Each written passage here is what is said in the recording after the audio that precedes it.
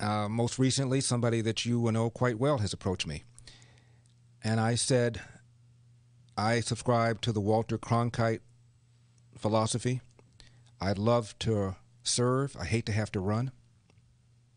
I just don't believe I have the stomach, the temperament, the personality, the drive, the willingness to deal with these doofi in Sacramento for the next several years of my life. Uh, have I exhausted all of my excuses yet?